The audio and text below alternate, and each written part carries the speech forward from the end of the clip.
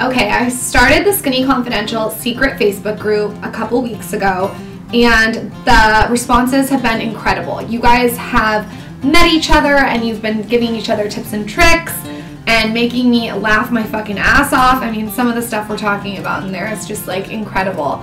Um, so it's been really cool to see you guys meet each other and connect on this online platform. So in saying that, I was thinking that I would have my friend Sean ask me a couple of the questions that you guys have asked me in the secret Facebook group and I can just answer them right here and post this to the Facebook group and maybe even YouTube. All right, let's get started. I'm kind of scared.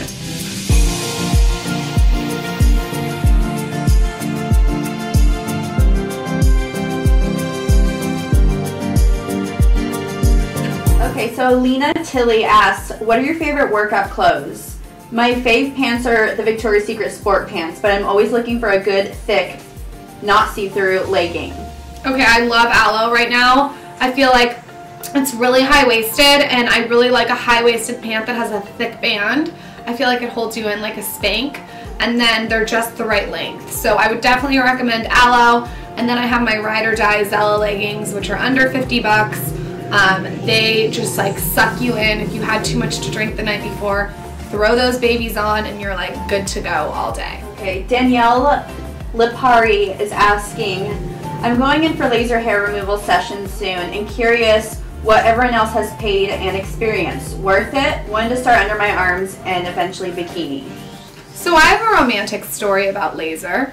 Michael has told me that he'll invest in me lasering my body. He's sick of seeing me shave my face and my underarms and my legs and vagina. So he's been so kind as to invest in my laser experience. So I'll be sharing that with you guys and letting you know how it goes. And hopefully Michael's ready for the bill. Okay, Phoebe Warham asks, any recommendations for organic, chemical-free, non-aerosol sunscreen? Oh, it's so hard to find chemical-free sunscreen. I'm probably not the person to ask for this because I'm obsessed with caffeinated sunscreen. It does have some chemicals in it, but I feel like the way my makeup lays on this sunscreen is worth it. Um, I balance my chemicals and my life like a checkbook. I've said this before. Um, the sunscreen to me is worth it, so I definitely use sunscreen with chemicals. I'm sure that if you googled raw organic sunscreen that you would find one um, that you liked, but right now I haven't found one that I can recommend. Um, Kara Sanders is asking everyone's favorite morning smoothie recipe. Go. Definitely, okay, mine's a little complex though. It has spinach in it, organic spinach, almond milk unsweetened with a lot of water and ice, chia seed, I like pearl powder. I also like protein in the morning just because I feel like my body needs it. So I do a scoop of plant-based protein. I love lemon, but this is the weird part. I put in the lemon rind too.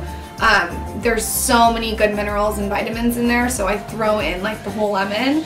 And then I also like adding blueberries to offset the flavor, but I will warn you, it doesn't taste the best, but beauty's pain. So that's my beauty smoothie. Okay, Delaney is asking, hey guys, so I'm only 19, but I've always wanted a nose job. Is it too early to get one and how invasive would it be? How do I ask my parents about it? I mean, I got a boob job at 19, so who am I to judge? I think that you should do what's right for you, and I think you should talk to a lot of different doctors. Um, go on RealSelf. It's like the Yelp of plastic surgery when you're picking your doctors. Talk to your parents. Talk out the pros and cons. Um, I personally don't think 19 is too young if it were for me. Um, I would rather get something done when I was younger than older. Like, I'm really happy that I got my boob job done when I was 19 because now I don't have to deal with it.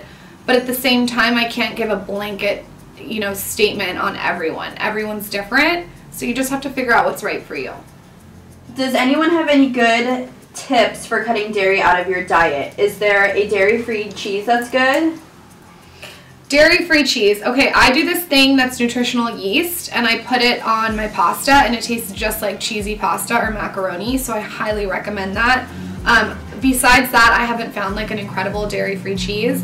But I do find when I cut dairy that I have less bloating, my skin looks clearer, my eyes look brighter. Um, dairy to me is kind of pointless. I mean, I wouldn't tell someone else don't eat dairy, but it is kind of a pointless food group to me, for me. Um, I do almond milk instead of milk. If I'm getting coffee, I'll do coconut milk. I just feel like there's so many substitutes that you can do that cutting dairy just isn't a big deal to me. If I was in Italy, like enjoying a dry rosé, I would definitely want a cheese plate and I would eat dairy. If I was in Florence, I would enjoy a pizza. But I think just like on a day to day in San Diego or LA, I don't need to eat dairy every single day. But I do, I will say, I love an In-N-Out burger with their cheese. So, you know, sometimes you gotta do what you gotta do. You just, again, gotta balance it like a checkbook.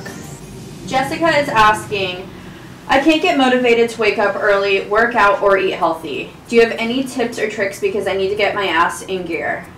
There's no really tips or tricks for getting motivated. You just have to do it. Like that's that's it's so simple. Um, people don't want to hear that simple, simple advice. I don't want to wake up early every day either, but I do it. I maybe don't want to work out every single day, but I try to make it a point to put it in my calendar seven days a week, and I usually get to five days a week. Um, I would rather have pizza for dinner on a random Tuesday night, but I make sacrifices so I can maybe have that burger on the weekend.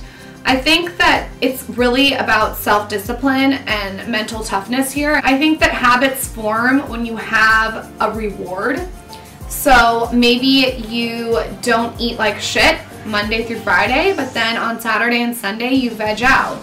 Um, you know, maybe if you get in a certain amount of workouts in the next six months, you reward yourself with a handbag.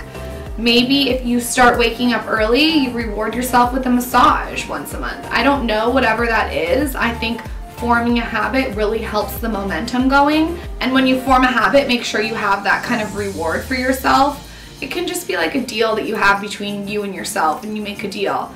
Um, I do find though, the harder I work and the more discipline I have, the more luck comes my way.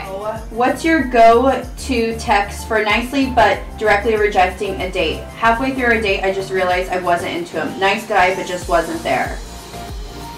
If I was on a date with someone I didn't like, and my friends are laughing in the background because this is going to be really bitchy, I would not waste either of our time. Like, you sitting there is wasting your time, it's wasting his time, what a waste, what a bore, why settle for that? If midway through the date I wasn't feeling it, I would just say, you know, I can have one more glass of wine and then I have to get home. I have an early morning. Like, let's not waste anyone's time. Um, I think that when you're sitting there and you're face to face, that may be like nerve wracking, but it's better to just like cut it off than sit there and pretend like it's working for you and then have him text you like 20 times for the next three weeks. Natasha wants to know how to deal with a difficult, nasty, narcissistic mother-in-law. Okay, I can't speak from experience on this because my mother-in-law is incredible. She's really cool.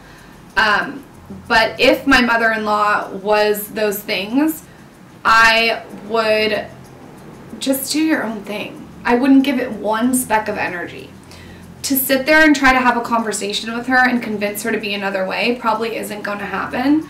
So just like do you, do your own thing. Don't give it any energy or any time and focus on your own shit. And if she wants to be narcissistic and bitchy, that's her own prerogative. Tori Sanders wants to know, she says she's literally starving all the time. Does anyone else feel that way? Yes, I eat enough. 2,000 plus calories a day. Any tips for curbing my appetite? Definitely up your protein. That's going to be number one. That's so boring and predictable, and I feel like everyone says that. But upping your protein is going to fill you up. What I do is because I don't want to eat like a whole chicken every day, is I do a lot of protein powder. It's plant based, um, it's raw, it's sprouted, and I'll just do like two big scoops of protein with some almond milk. Sometimes I add cacao, I add coconut oil um, just to get that protein in to fill me up. Um, another tip is to always fill up on greens before you eat. So like I'll do like a huge salad before I order my entree. I also like to eat appetizers instead of entrees because I just feel like the portions are so big now. So instead of getting an entree, I'll order two appetizers or do an appetizer as my entree. Um, and make sure that those are filling too. You don't want to order like um, as your main course, I don't know, you know, pasta. Fill up on a bunch of vegetables and then eat accordingly. I feel like if you eat a ton of vegetables, you're still obviously going to be hungry. Then you can kind of gauge how much more you should eat. Um, having a huge, huge thing of water around all the time has really helped. I just invested in a Hydro Flask. It has a straw in it, so um, it makes my water freezing cold and it's 32 ounces and I can just carry it around. So I feel like that's efficient. Um, another tip would be to make sure that you're getting like the right nutrients, that you're eating like chia seeds and coconut oil and you're having your vitamins and supplements and amino acids. Like make sure that your body's not being deprived of certain minerals and vitamins because maybe that's why you're hungry. If you still feel like you're hungry after really filling up on protein, I would definitely talk to a doctor because there might be something else going on, maybe even in your gut. Um, wondering, do you fart or burp in front of Michael? No, I don't. I don't fart or burp in front of Michael. You, you got to keep the magic alive. Like it's still a game. Um, we don't we don't do that in front of each other. He, Sean says she doesn't fart in front of a guy. Do you fart in front of guys?